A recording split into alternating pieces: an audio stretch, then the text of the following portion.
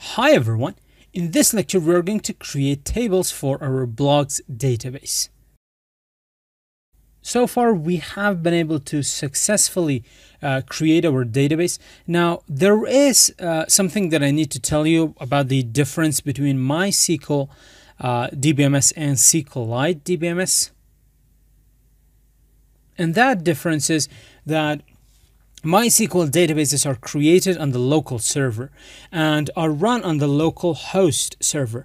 Uh, now, every query that you write, uh, every SQL statement that you write, will have to communicate with the server in one way or another. And when that query is accepted, then the data will be sent by the server.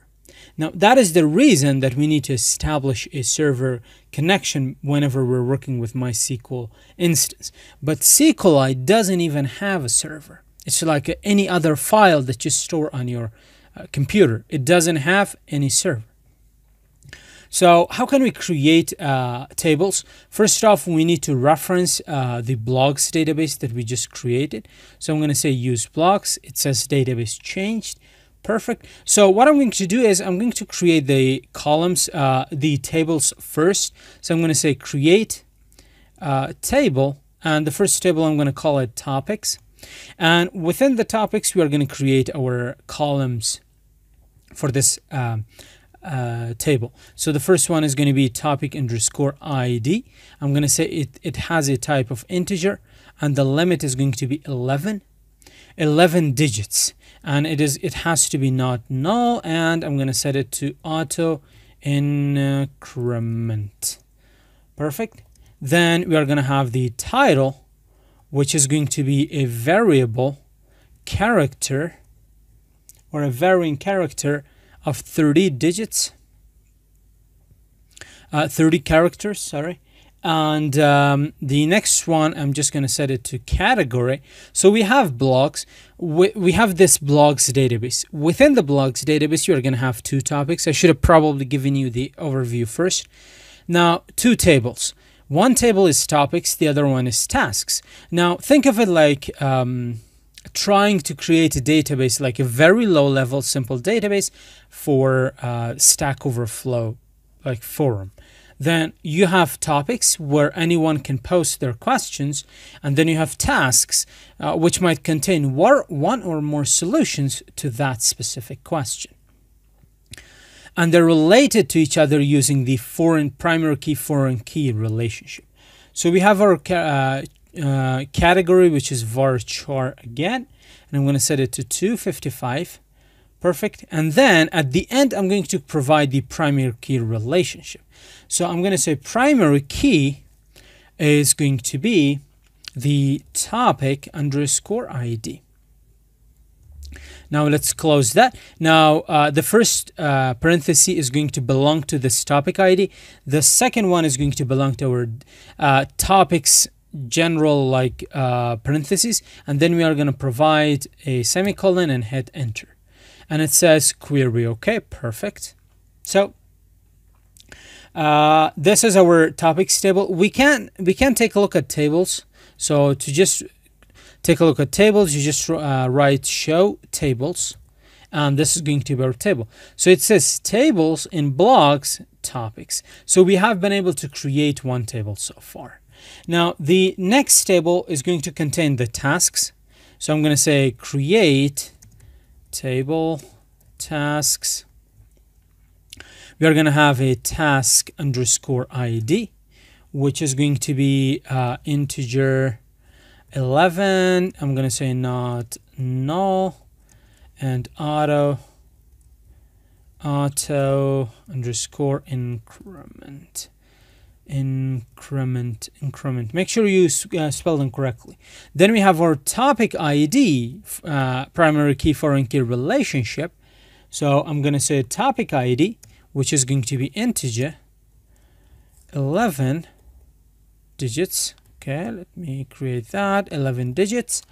And then we have it should be required. So it should not be not null then we have our description which basically provides the solution for that specific problem or issue.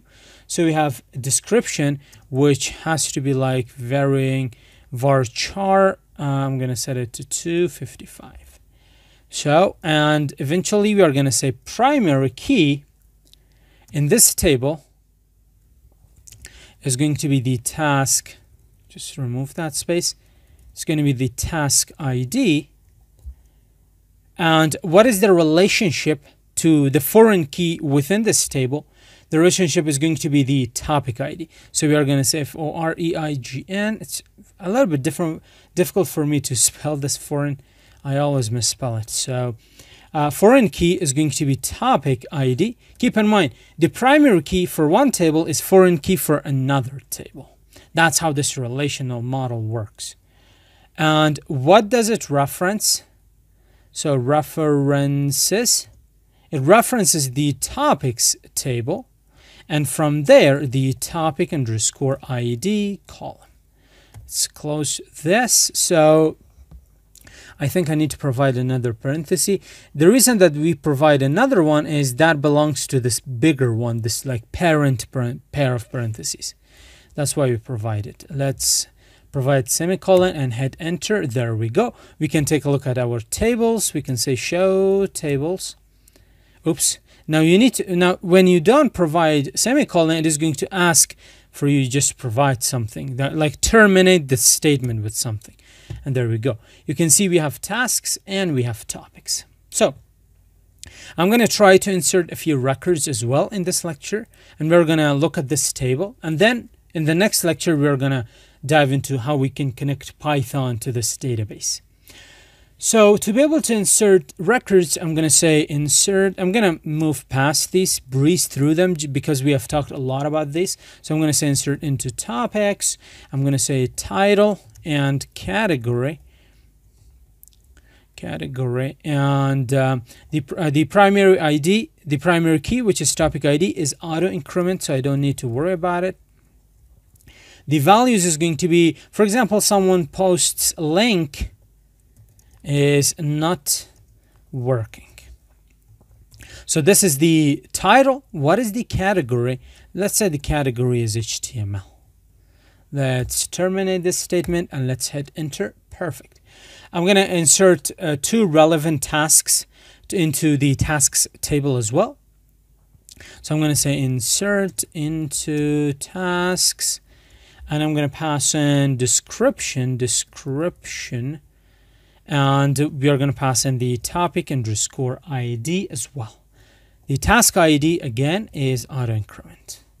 So we are going to say, for example, this is the first solution. Make sure the URL path is entered uh, entered entered correctly.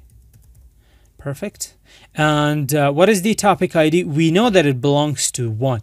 Now, the reason that you need to provide the topic ID is to, to just make sure that there is no error.